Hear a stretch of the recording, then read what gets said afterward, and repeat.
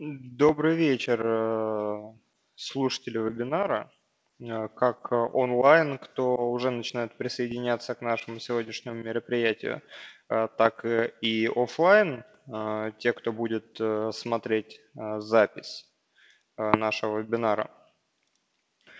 Сегодня мы с вами проведем нашу встречу Э, на тему того, как э, начать э, торговать на финансовых рынках, технически торговать, вот, то есть как зарабатывать средства путем спекуляции на финансовых рынках по различным финансовым инструментам.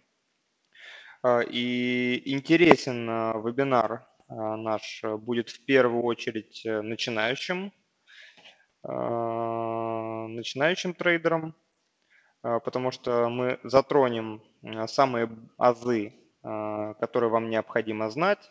Мы с вами откроем торговый счет, мы с вами настроим платформу MetaTrader 4, и я на примере своего экрана покажу вам, как а, нужно а, открывать э, сделку, выставлять, э, соответственно, стоп-лосс и take profit по ней, и какие функции э, необходимо использовать в Э, терминале для того, чтобы начать э, торговать, то есть э, самые азы. А, итак, начнем по порядку. Я так понимаю, что каждый из, из зарегистрировавшихся на вебинар является клиентом нашей компании. Вот, поэтому у каждого из вас должен быть личный кабинет. Я бы вот вас сейчас попросил зайти в личный кабинет – а, он нам понадобится для того, чтобы открыть счет. Вот. И давайте начнем с самого начала. А, в конце вебинара, возможно, несколько минут э, я смогу уделить а, непосредственно работе с эм, функционалом, который вам открывает личный кабинет. Но сначала нам необходимо э, разобраться с тем, как начать торговать в платформе MetaTrader 4. Э, сразу скажу, что сегодня э, мы с вами не будем... Нет звука. Э, странно. Попробуйте сделать громче ваш микрофон, потому что, насколько я вижу... Потому что, насколько я вижу, звук работает. Вот. Отлично. Это значит, я немножко с запозданием. Э, ну все, давайте не будем тогда останавливаться на каких-то э, мелочах, э, которые связаны с техническим характером. Я проверил все настройки. Моя гарнитура установлена на максимум, так же, как и все настройки в интерфейсе вебинара. И сконцентрируемся на сути, потому что если вы только начинаете работать с финансовыми рынками, то, что я вам сейчас расскажу, будет полезно. То есть, по сути, это то, что вам нужно будет сделать. Все шаги, вот прям по полочкам. Раз, два, три.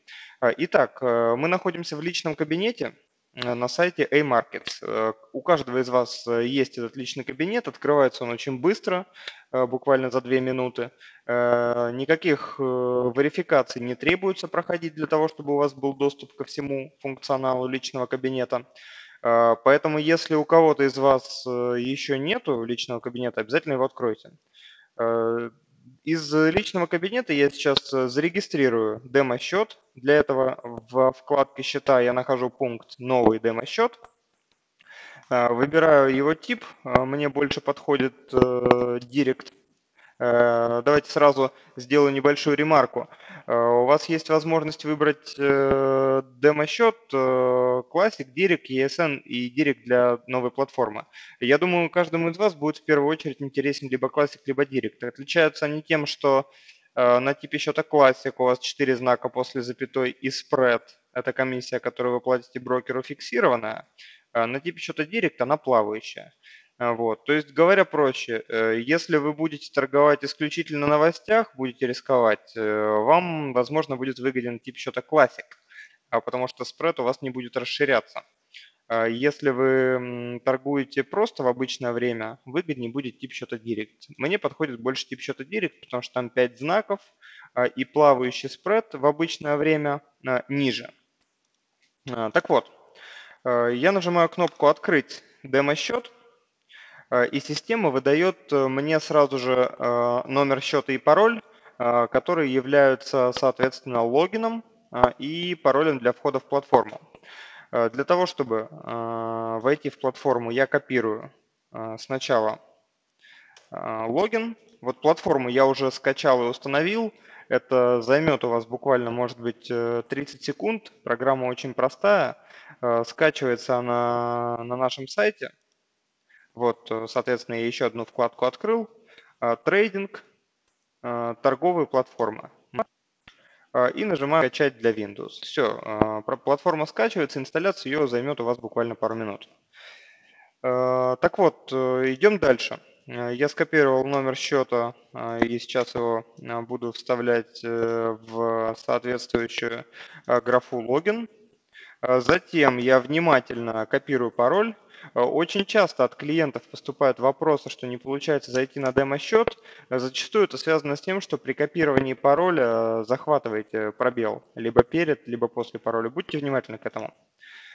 Вставляю пароль. Сервер мы открыли сами демо-счет, так как мы только тренируемся. Нажимаем «Готово». Сейчас мы с вами слышим характерный звук Э, когда у нас э, происходит авторизация счета. А, и видим вот э, платформу MetaTrader 4 в базовом варианте, вот, то есть так, как вы увидите ее каждый из вас.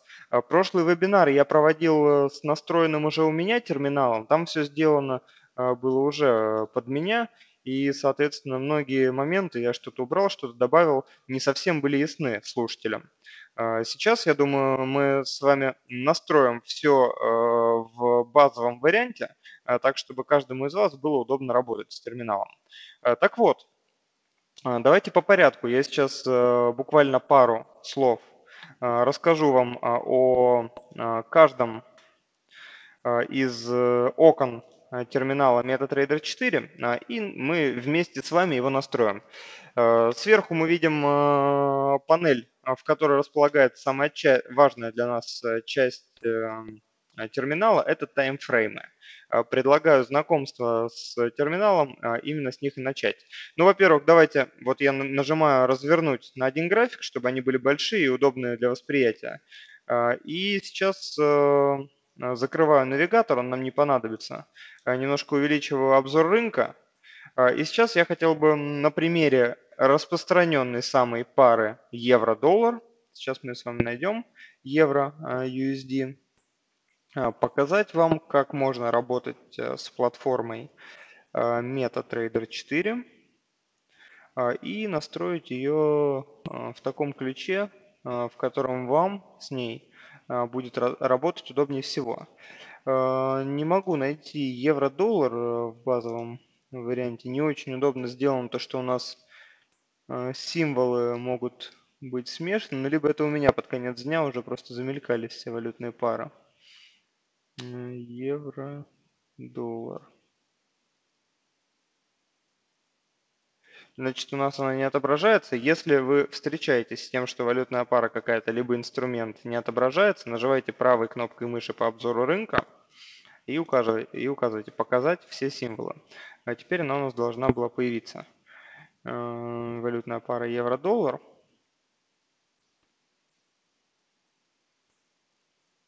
Э, сейчас мы ее с вами найдем. Вот, по порядку идем. Извиняюсь за некоторую техническую задержку, но я правда не могу увидеть евро-доллар. В вот, евро-USD. Она у нас почему-то попала э, вот сюда ближе к концу, хотя это самая распространенная пара. Вот зажав эту пару из обзора рынка, я перетягиваю ее на график, э, и мы видим сейчас график евро-доллара. Давайте настроим э, в удобном виде этот график, чтобы нам было с ним приятно работать. Э, для этого я предлагаю вам нажать правой кнопкой мыши по поле э, графику, нажать «Свойства» э, и, во-первых, выбрать цветовую схему черно-белую, и, во-вторых, сразу же отобразить линию ASC. То есть мы нажимаем «Общие» и указываем «Показать линию ASC». Окей. То есть в таком будет удобнее с ним работать. Давайте я сразу вам расскажу про таймфреймы и про линию ASC, которую мы с вами сейчас отобразили. Э, во-первых, э, мы работаем с графиком практически всегда в формате э, отображения графика японскими свечами. Японская свеча, вот на примере, давайте рассмотрим вот этой свечи, это графическое изображение цен за определенный период. В данном случае, так как мы смотрим таймфрейм H1, видите, подсказка выскакивает 1 час, э, каждая из свечей показывает движение цены ровно за 1 час. Э, белые свечи у нас э, бычьи, то есть они показывают рост, черные свечи у нас медвежьи, они показывают падение. Соответственно, вот на примере этой японской свечи мы видим, что по, на отметке 1.1284 э, этот час был открыт. В дальнейшем цена у нас поднималась и опускалась в пределах диапазона. Нижняя точка 12.73, а наивысшая точка 13.16. Ну, это грубо, там может быть один пипс, я где-то ошибся. И в итоге этот час у нас закрылся на отметке 1.13.05. Э, вот столько информации у нас содержит всего лишь один графический элемент. Э, теперь давайте э, поговорим о таймфреймах. Знакомство с каждым из инструментов я вам предлагаю начинать с таймфрейма MN. Это один месяц. Мы меняем масштаб, уменьшаем его, чтобы график был более наглядным. И видим, а, движение а, валютной пары евро-доллар, то есть сколько евро мы можем купить за доллары. А, вот с периода, с периода ранее, чем 1995 год. На этом графике каждая свеча отображает ровно один месяц. Соответственно, мы можем теперь разбить этот график на более локальное промежуток времени, передвигаясь вот между вот этими таймфреймами. Если мы хотим посмотреть вот последние нас несколько месяцев, что было внутри вот этих свечей, как ходил график, мы нажимаем э, W1, это Week э, One э, недельный график, и видим уже э, более детализированную картину. Потом спускаемся ниже, э, нажимаем D1. Э, сейчас мы с вами видим дневной график Э, также мы можем идти далее и посмотреть четырехчасовой график. Здесь уже нам понадобится сделать вот так, чтобы развернуть его, потому что масштаб меняется по сравнению с э, месячным графиком. Э, далее мы можем посмотреть картину на часовом графике, 30-минутном, 15-минутном, 5-минутном ну и самый детализированный график, с которым я вам не рекомендую на самом деле на первом этапе работать, это одноминутный. Потому что на этом графике э, происходит очень много движений, кажется. А, соответственно, он непрогнозируемый, то есть на нем практически никакой анализ не работает. А, все элементы технического анализа, которые вы будете использовать в своей торговле, Э, хорошо работают на таймфреймах от 4 э, часов э, до, соответственно, месяца. Поэтому пока вы только знакомитесь с финансовыми рынками, я бы вам рекомендовал использовать именно таймфреймы от 4 часов, ну либо от 1 часа, если вы хотите поторговать внутри дня. Давайте с вами разберем вот пример на одном на таймфрейме 1 час. Смотрите, что мы видим? Мы видим с вами картину Э, каждая свеча отображает один час. Э, соответственно, взяв вот перекрестие, мы можем посмотреть э, все уровни, Вот, то есть видите, до какой степени наглядно валютная пара евро-доллар подходила вот к уровню 1.13,8 и несколько раз достаточно стремительно от него отбивалась. Вот в первый раз, коснувшись этого уровня, она Э, отбилась до отметки 1.1238 э, сначала и в дальнейшем до отметки 1.1047. Э, вот второй раз она подошла ближе к нему вот спустя несколько дней, сейчас подошла третий, и уже сейчас она подобралась к этому уровню вплотную. Поэтому уровень достаточно серьезный для этого таймфрейма. Если евро-доллар сейчас Э, четвертый виток его пробьет, скорее всего, движение пойдет в дальнейшем вверх. Но э, это уже предмет э, наших следующих вебинаров. Мы будем учиться прогнозировать рынок, опираясь на модели технического анализа, фундаментального анализа и используя те пользовательские сервисы, которые доступны всем нашим клиентам. А сейчас мы с вами просто разберем буквально первые шаги в платформе, а именно как нам с вами открыть ордер. Ну давайте еще пару слов э, я вам расскажу о э, том, как устроен терминал MetaTrader. А, помимо таймфреймов, э, здесь у вас в быстром доступе находится, во-первых, командная строка со всеми необходимыми сервисами, файл, вид, вставка, графики, сервис, окно, справка. Я думаю, что здесь заострять внимание не стоит на этом, потому что это специфика каждой программы для Э, Microsoft Word. Вот. Далее мы видим э, ряд э, пиктограмм, которые будут нужны вам уже в дальнейшем, позже. Пока что нам понадобится только кнопка «Новый ордер». Здесь мы с вами настроили в удобном виде для нас график, выбрали отступ от правого края. Ну, это психологический момент. Приятно, чтобы было видеть какое-то пространство, чтобы график вот так вот не упирался в стенку. Здесь мы можем с вами менять масштаб. Вот таким образом, а, как в большую, так и в меньшую сторону. Можем поменять отображение, но я вам рекомендую именно японские свечи. Они значительно выигрывают перед барами и линейным отображением графика.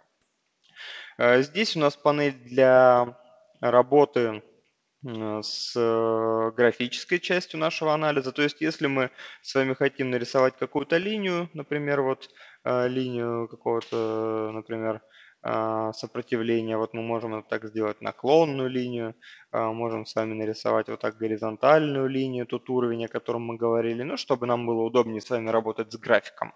А, но не в этом суть. Также мы здесь с вами можем построить э, в быстром доступе Fibonacci. Я думаю, что один из последующих вебинаров мы э, с вами посвятим изучению как раз-таки линий Fibonacci, потому что они помогают в значительной степени систематизировать нам с вами график. А, ну и то, я с вами уже а, подробно поговорил, это таймфреймы. Мы с вами выбрали H1, ну либо H4, как вам удобнее. Давайте выберем H4, он более наглядный и захватывает больший промежуток времени.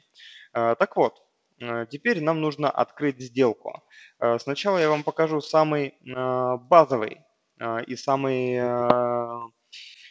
может быть, э, Э, точный способ открытия сделки, который вам необходимо знать, э, когда вы открываете сделки позиционно. То есть, когда вы можете открыть одну сделку, для вас не так важна та секунда, которую вы потратите на нее, вам важно все проверить и рассчитать. Э, так вот, для того, чтобы открыть сделку, мы нажимаем кнопку «Новый ордер». У нас появляется всплывающее окно, Э, в котором э, нам необходимо заполнить всего несколько э, полей. Во-первых, мы проверяем, чтобы символ был действительно тот, по которому мы с вами хотим открыть сделку.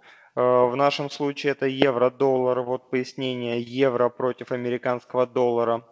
А, котировка, вот в данном случае 1.1290, а, показывает, сколько евро мы можем купить за 1 доллар. То есть, соответственно, базовая котируемая валюта.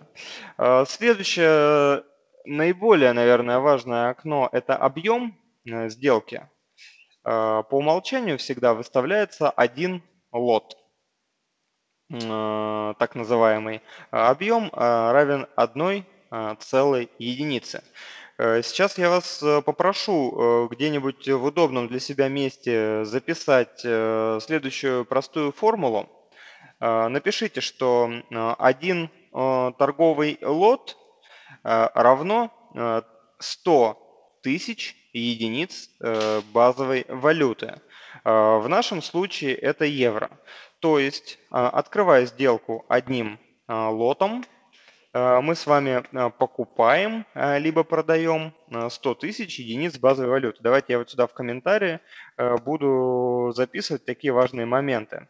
Один, один лот, прошу прощения, сейчас я переключу язык, один лот равен 100 Э, тысяч.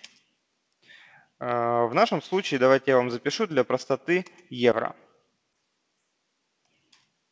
Э, ну, для приблизительных расчетов нам можно использовать также и нам можно также использовать и доллара. Ну, допустим, мы остановимся на евро. Далее я бы хотел, чтобы вы записали, что в случае открытия сделки одним лотом, один пункт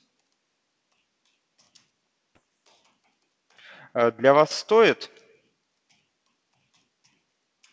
э, один пункт э, для вас стоит 10 долларов. 10 USD. Давайте теперь посмотрим, что такое у нас один пункт. Вот в нашей котировке, которая есть сейчас, а, один пункт – это четвертый знак после запятой. А, то есть вот в нашем случае это а, цифра вот здесь 3 э, и 4. А, соответственно, изменение цены, вот как мы видим, видите, цена меняется, прыгает вверх-вниз. На один пункт здесь э, поднятие, либо, э, то есть удорожание, либо подешевение, нам будет стоить с вами 10 долларов, когда мы открываем такой объем. То есть, в принципе, разумно открывать сделки целиковым лотом, когда у вас достаточно большой депозит, порядка 10 тысяч долларов. Если депозит меньше, то вы можете открыть сделку, например, вот 0,01 лотом. Это минимальное значение – Э, когда вы открываете сделку минимальным значением 0,01 лотом, э, для вас один э, пункт стоит всего 10 центов. То есть много вы не потеряете, но много и не заработаете.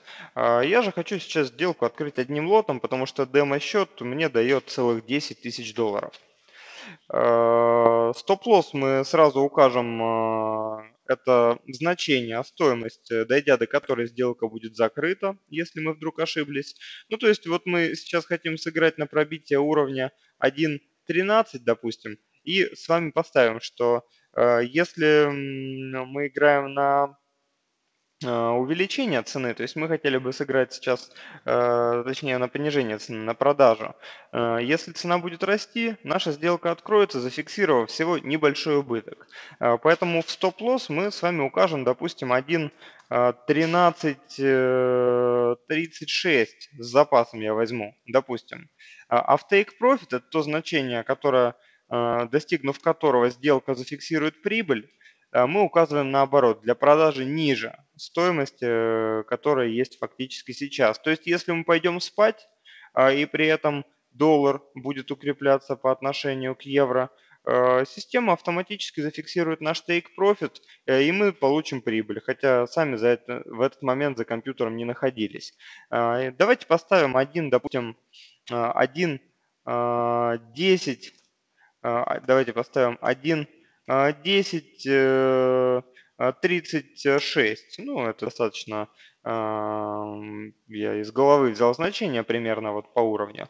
А, так вот, все, после того, как мы выставили объем, стоп-лосс и take profit, а, мы нажимаем а, sell, если считаем, что график у нас сейчас пойдет вниз, и, соответственно, buy, если считаем, что график пойдет вверх. Так как я take profit и стоп-лосс установил, исходя из э, расчета на то, что график пойдет вниз, а, ну, достаточно рандомное предположение, я нажму сейчас Sell. Видите, нам написано, что исполнение ордера, а, номер нашего ордера исполнен успешно. И сразу же наш ордер а, появился у нас в строке терминал. То есть в нижней части терминала мы с вами видим наш ордер, мы видим всю, всю детализацию по нему, все значения и видим вот здесь самое важное для нас – прибыль либо убыток. Сначала, когда вы открываете сделку, даже если вы ее открываете в нужном направлении, эта сделка у вас уходит в убыток, потому что вы платите спред. Э, уже один раз сегодня я говорил вам о спреде, но не стал останавливаться. Сейчас э, более подробно расскажу. Э, спред – это комиссия нашей компании, наш прямой заработок. Разница между ценой покупки и продажи. А, подобно любому обменнику, где вы можете, а, например, купить э, доллары а, по чуть менее выгодной для вас цене, а вот продать, если вы обменнику захотите доллары, то цена будет э, ниже. Вот, то есть, соответственно, ну, принцип э, купи-продай. Обменник и наша брокерская компания, грубо говоря, покупает чуть дешевле, продает чуть дороже. Вот эта разница и есть спред. Мы с вами установили отображение линии ASK, чтобы в режиме реального времени всегда видеть этот самый спред. А, если мы сейчас с вами нажмем график одну минуту, чтобы э, эту линию было видно, то наглядно мы увидим, как э, цена у нас бегает э, не только одна линия, не только линия бит, но и линия ask. И вот как раз они отличаются друг от друга, там где-то на полтора пункта. Это и есть спред. А, вот. Э, это бывает важно а, видеть, потому что зачастую, выставив стоп-лосс, например, либо take profit, назначение какое-то, мы видим, что график по сути там не доходил, и нам кажется, что наш ордер исполнился некорректно. Но это не так, потому что мы не учитываем вот эти как раз полтора пункта. Это бывает редко, но это нужно понимать, что график вот здесь у вас нарисован исключительно по линии а, линия ask отличается на величину спреда. А, так как я с вами открыл э, тип счета Direct, где спред плавающий, эта величина может варьироваться. Э, ну, как правило, она составляет полтора пункта по паре евро-доллар. Э, то есть, открыв эту сделку изначально, мы с вами заплатили порядка 15 долларов спреда. Ну вот, вернемся на наш привычный таймфрейм, 4 часа и э, я вам сейчас покажу, э, как можно работать э, с отложенными ордерами. А, и начать я хочу с ордера Take Profit и Stop Loss, вот, который мы с вами выставили вручную, выставили значением. А, их можно очень удобно модифицировать, зажимая вот линию, которую они символизируют, и перетаскивая ее. То есть, видите, мы видим, что вот здесь тоже очень мощный уровень. А, и вот э, Take Profit можем перетянуть вот на эти свечи, чтобы он, они захлестывали его. А, в таком случае вот мы принимаем условия. В таком случае нам будет всегда, э, ну, то есть вероятность того, что до 1 10.94 э, евро-доллар дойдет, в этом случае выше, чем до 1.1036. Поэтому мы вот так графически проанализировав, решили передвинуть Take Profit. И то же самое по отношению к стоп-лоссу. Мы видим, что сюда цена заходила. Мы не хотели бы, если бы она еще раз решить сюда зайти, а потом пойти вниз, чтобы наш стоп-лосс зафиксировался. Поэтому мы его немножко отодвинем. Вот так. А, чисто визуально вы можете наблюдать, э, давайте даже вот сюда вот так поставим с большим запасом, чтобы это было. А, вы можете наблюдать, что take profit и stop loss у нас находятся в балансе, то есть наш stop loss меньше, чем наш take profit.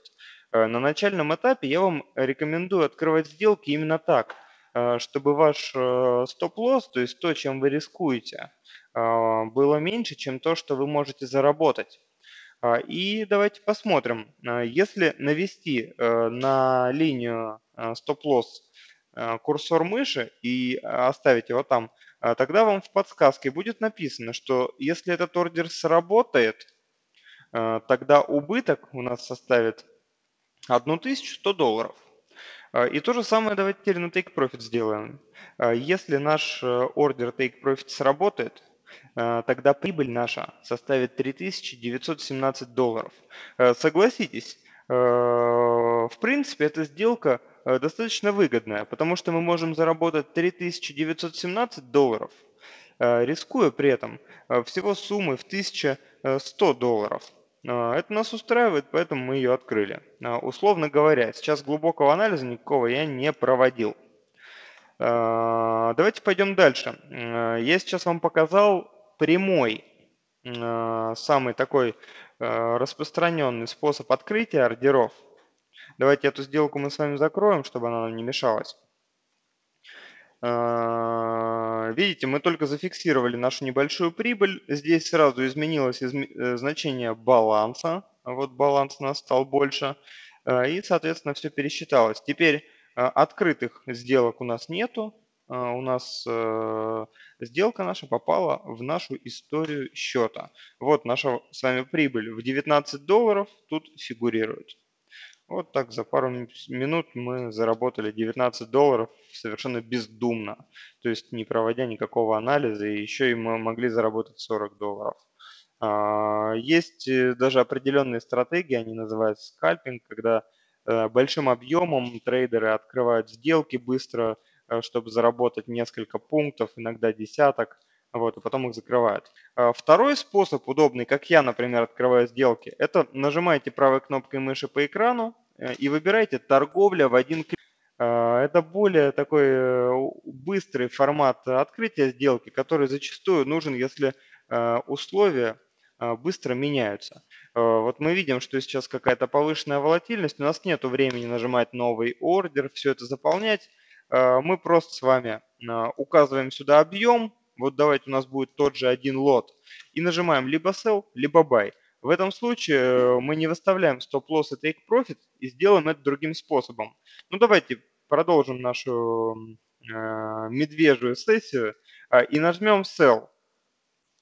Э, видите, моментально у нас открылась сделка на sell, э, на продажу объемом 1 лот. Но вот она сразу ушла у нас в минус 15, сейчас уже 17 долларов. Но по этой сделке мы не выставили стоп-лосс и take-profit, что я вам настоятельно рекомендую всегда делать. Поэтому мы сейчас воспользуемся другим, более удобным, на мой взгляд, способом а, выставления отложенных ордеров, когда мы зажимаем линию ордера и перетягиваем ее а, по отношению к текущей цене. То есть вот сюда мы с вами перетягиваем, так как у нас от, э, сделка открыта на продажу, это у нас будет стоп-лосс. То есть цена идет не в нашу сторону, вот на 1900 долларов. А вот сюда мы ее перетягиваем на take profit. Вот, все. А, ну и точно так же мы их можем модифицировать. А, это у нас с вами второй а, способ открытия сделки. Э, который э, является более быстрым, но всегда контролируйте, что у вас написано в объеме, потому что зачастую вы можете работать различными инструментами, и где-то у вас будет э, целиковый лот единицы, потом вы захотите открыть 001 лот, а у вас будет стоять тут единицы, вы можете понести убыток, потому что просто не заметите объем. Всегда проверяйте, каким объемом вы открываете сделку.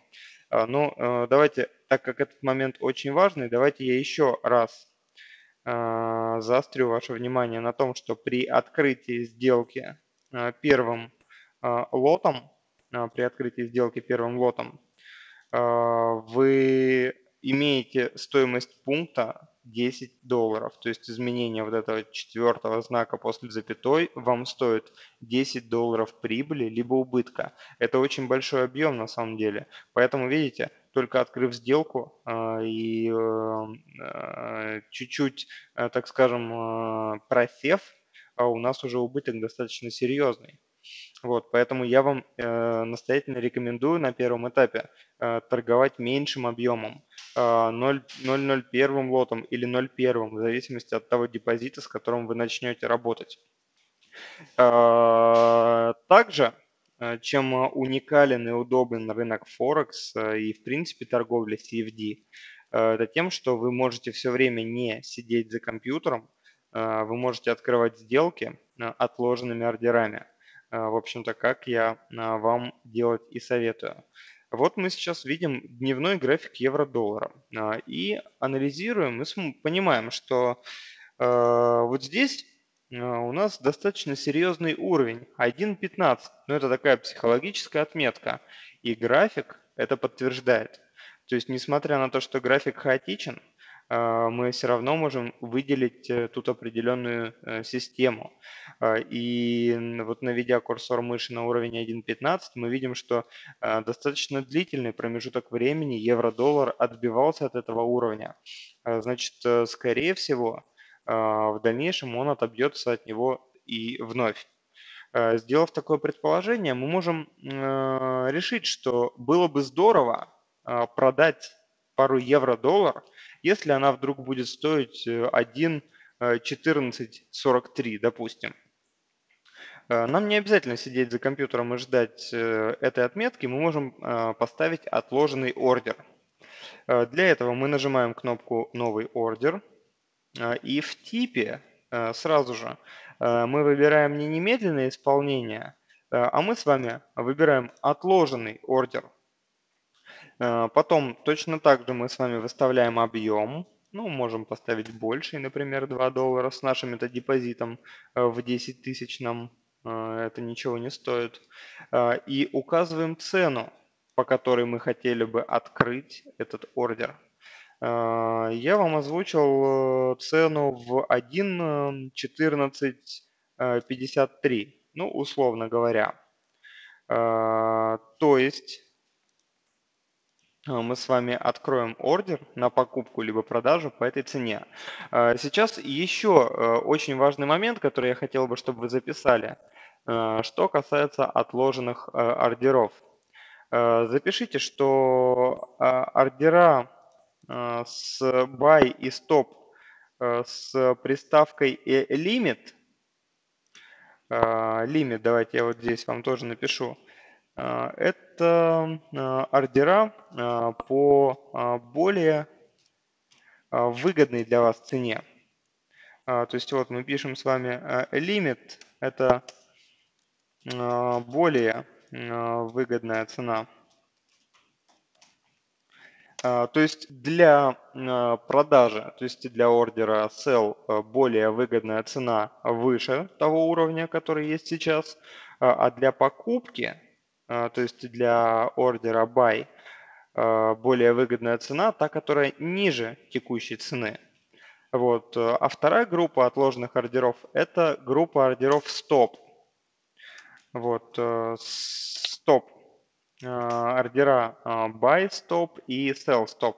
Это продажа по, я сейчас напишу вам, по менее выгодной цене. Э, менее выгодная цена. Э, таким образом, вы всегда понимаете, если э, вы хотите открыть сделку на продажу от более высокого уровня, если туда пойдет цена, вы ставите ордер sell stop, sell limit, прошу прощения. Если вы хотите открыть сделку на продажу в том случае, если цена пробьет определенный уровень, то вы ставите ордер sell stop. Так вот, вернемся с вами к нашей торговле. А, и поставим, давайте, ордер э, sell limit вот на ту отметку, которую мы с вами написали. Причем э, мы можем с вами сразу же задать значение stop loss и take profit, ровно так же, как мы это делали в случае с первым ордером, вот отсюда, написав их здесь. То есть прям вот к этому отложенному ордеру у нас будет значение stop loss и take profit. А можем сделать это другим способом, я вам покажу, чтобы вы все это умели делать. Все, я нажимаю установить ордер. Сразу у нас, видите, появилась здесь линия. Вот давайте мы с вами переместимся на часовой график, чтобы вы видите. А, вот у нас сразу здесь появилась линия, видите, а, номер ордера sell limit 2 лота. И в графе терминал у нас появился этот ордер в, под строкой баланс. То есть э, сразу видно, что он у нас с вами а, является не открытым ордером, а отложенным. А, и мы с вами можем его всегда модифицировать, вот э, передвинув на графике, то есть, ну, если мы считаем, что нам нужна более либо менее выгодная цена, а, и можем поставить ему стоп-лосс take profit. Вот прямо модифицируя этот ордер. Для этого в терминале а, мы можем с вами два раза кликнуть э, мышкой по значению стоп-лосс, и у нас снова появится окно. А, с э, окно ордера, а, в котором мы, в общем-то, можем изменить э, эти параметры. Так как мы не выставили ни стоп-лосс, ни take profit, мы это можем сделать сейчас. То есть нажать, например, что стоп-лосс у нас наступит, если э, после достижения цены 1.14 52,9, когда сработает наш ордер, цена пойдет выше и достигнет значения 1.15, допустим, 38.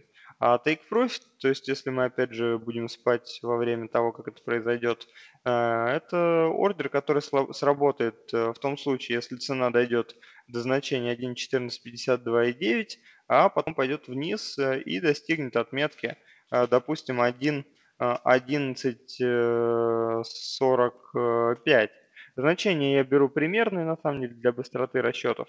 И у нас, опять же, наш take profit stop loss появились сейчас на графике.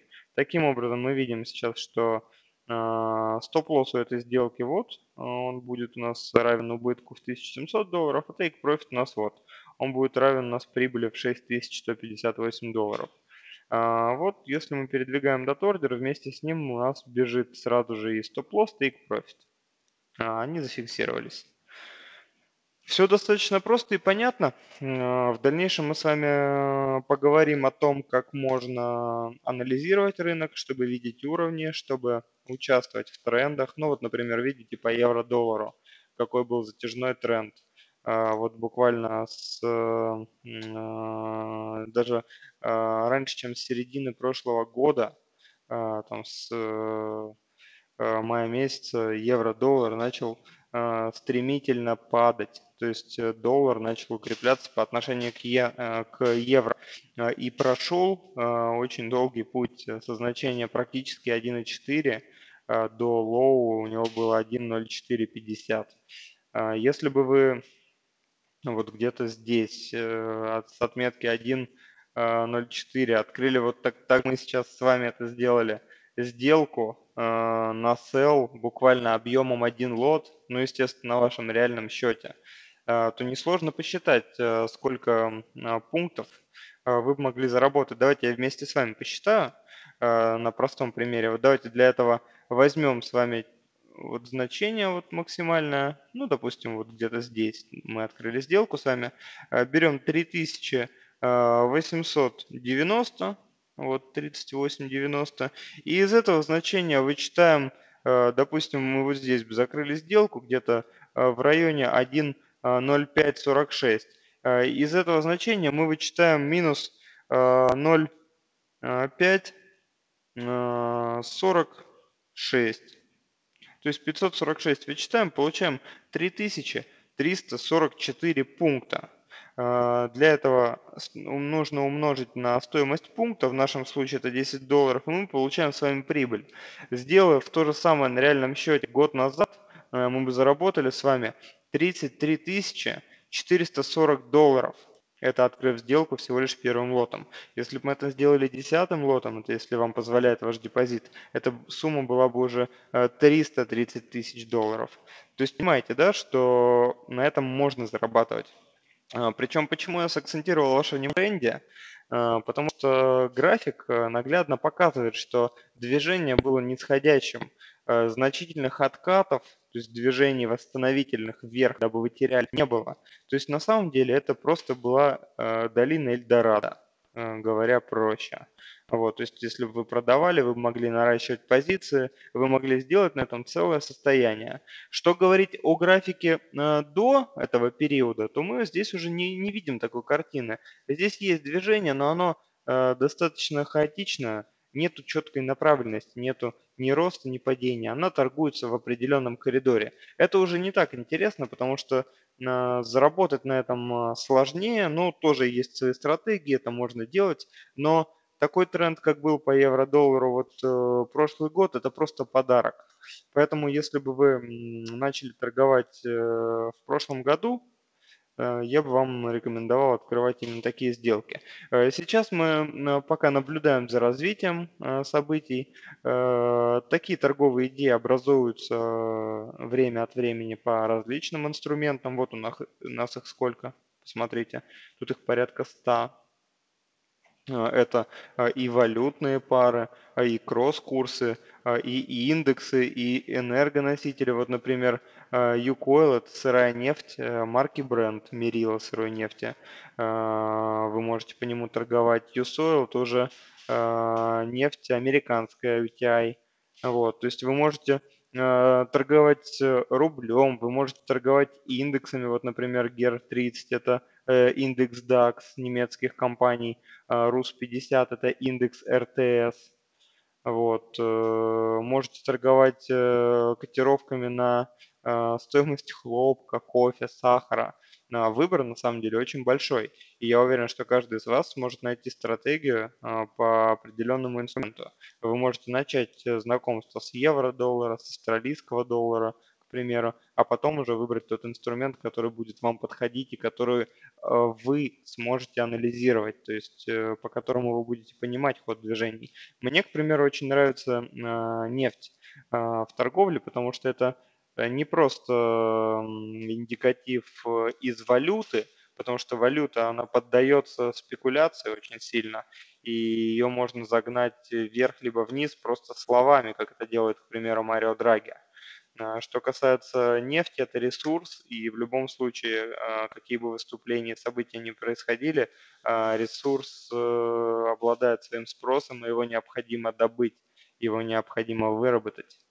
Вот, поэтому чистой спекуляцией э, стоимость нефти в значительной степени не изменить. Возможно, это является вот э, той причиной, что мне симпатизирует этот актив. Э, так вот, э, что еще хотел сказать, то что вот э, в обзоре рынка, это список всех символов, откуда мы будем с вами графики открывать, а если вы наводите курсор мыши, то у нас пояснение выскакивает, что AudiCAD это австралийский доллар против канадского доллара, пара Форекс. Там, к примеру, Audi GPY это австралийский доллар против японской иены. А, вот. Э, точно так же по индексам а, и любым другим символам. Ну, давайте вот откроем с вами еще а, валютную пару. Допустим, ну, чтобы нам с вами посмотреть такого интересного. Ну, давайте посмотрим еще доллар к рублю, к русскому. Вот. Для этого мы нажимаем правой кнопкой мыши, нажимаем окно графика, и вот у нас появляется а, а, рубль а, родной, нам всем рубль, который последнее время достаточно нелогично себя ведет. Вот мы смотрим с вами на 4-часовой график. Давайте сразу поставим отображение в барах, выберем цветовую схему черно-белую, чтобы мы, не в барах, прошу прощения, в свечах, могли его более наглядно видеть. А вот такой вот график э, нашей отечественной валюты. Вот э, черный вторник здесь э, наглядно выделяется на этом графике. На хаях рубль падал до 78 доллар, точнее, укреплялся до 78 рублей. Вот сейчас рубль котируется на отметке где-то 53.88, так как, в общем-то, у нас отображается цена бит она где-то на 40 копеек отличается от фактической цены э, средней. То есть, э, ну, по факту сейчас выше, чем 54 рубля стоит 1 доллар. Многие аналитики сходятся на мнение, что сейчас рубль будет слабеть и вернется сначала к отметке 70, а потом 100 и 140. Поэтому это выгодно занять э, длинную позицию по рублю, то есть по паре доллар а, рубль от, открыть сделку уже не на sell, как мы открывали по евро-доллару, а на buy, на покупку. Вот, эта сделка вам может принести очень хорошую прибыль. А, ну что ж, основные функции терминала MetaTrader 4 я вам показал, которые необходимо знать для того, чтобы открывать ваши первые сделки. В дальнейшем мы будем с вами учиться осознанно прогнозировать рынок. А, в любом случае, это, конечно же, стихия, то есть нет алгоритма, который полностью даст вам стопроцентную вероятность а, правильного прогноза, но так или иначе, а, вот на примере того же евро-доллара я вам продемонстрировал, что хоть рынок это и стихия, но у нее есть определенные закономерности, которые встречаются изо дня в день, из месяца в месяц, э, из года в год. Э, поэтому э, вот в, этой, в этом балансе, когда вы не знаете, что будет, либо пойдет вверх, либо низ, вот когда вы видите эти закономерности, они смещают вероятность в вашу пользу. То есть, вот, к примеру, видите, месячный график евро-доллара. Тут прям наглядно просится вот такая линия наклонная.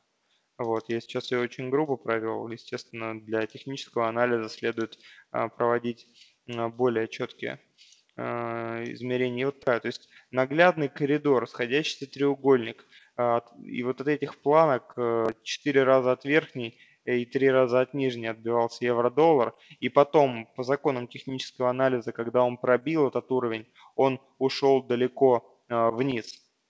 Соответственно, график, то есть движение цены, оно хоть и хаотичное, но в нем можно найти определенные закономерности, которые вам помогут найти правильные точки для входа а, и правильные сделки. Вот тем временем наша сделка приносит нам уже убыток достаточно большой. Открывали мы ее с вами бездумно, то есть э, я совершенно не прогнозировал движение цены, просто показывал вам, как открывается сделка. Поэтому вот это уже вероятность. Я предлагаю ее оставить нам до следующего вебинара. Возможно, она а, выйдет у нас с вами в хороший плюс.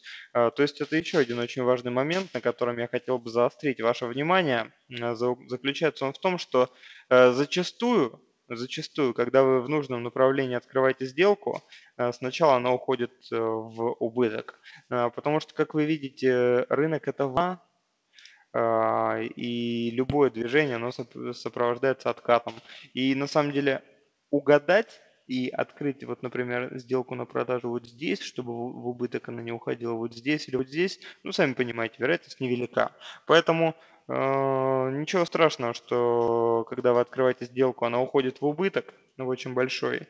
Вот, это для нас не критично. К примеру, в вашем случае, если вы только начинаете работать с Форексом, торговать на реальном счете и открыли бы сделку 0.01 лотом в 100 раз меньше, мы бы сейчас потеряли с вами не 154 доллара, а всего лишь, э, поделите на 100 это значение, сколько будет. Вот, то есть э, мы практически ничего не потеряли. 1 до, полтора доллара у нас был бы сейчас убыток, но и не заработали бы. А, на этом я заканчиваю рассматривать платформу MetaTrader 4 и буквально пару моментов сейчас вам покажу по личному кабинету. А, вот в таком виде он а, представлен и у вас в браузере. Что мы здесь видим?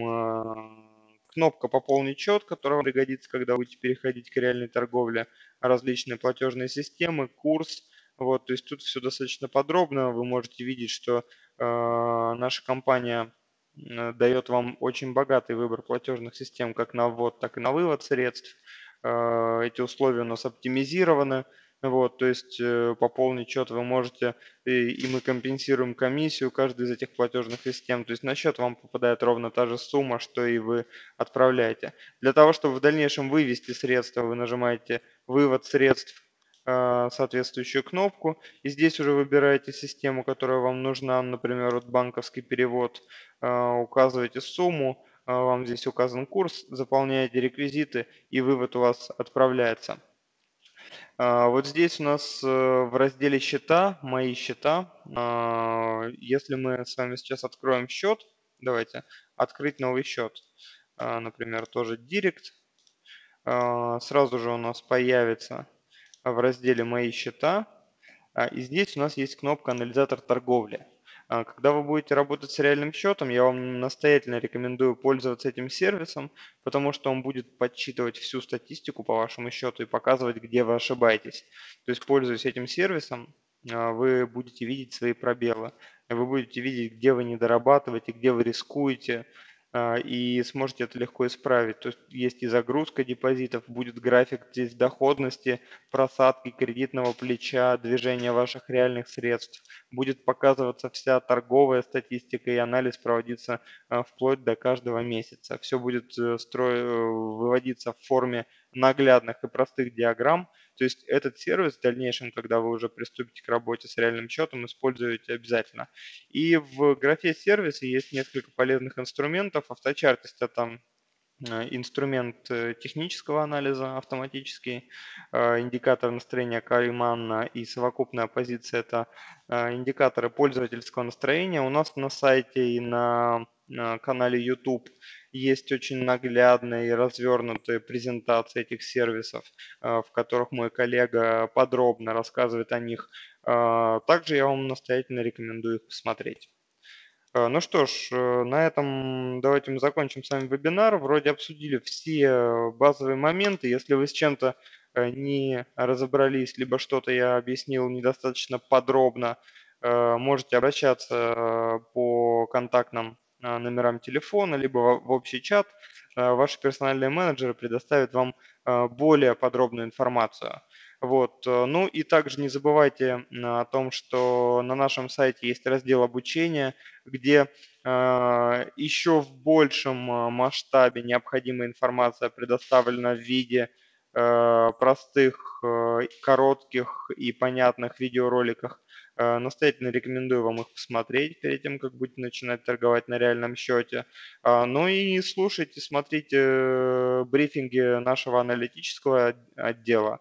Э, мы их обычно выкладываем в графе аналитика рынков. Ну что ж, сегодня у нас было с вами очень мало. Этот вебинар попадет в запись. Я думаю, что он будет полезен Э, в большей степени не вот э, в онлайн формате, а именно в офлайн режиме. Э, тем же, кто сегодня был с нами, я желаю, говорю спасибо за внимание. Надеюсь, та информация, которую я вам предоставил, будет полезна. Вот. Ну и желаю хорошего вечера. Всего доброго.